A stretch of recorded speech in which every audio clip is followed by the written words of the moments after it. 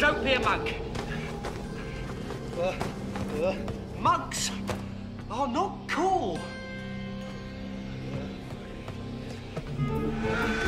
Uh.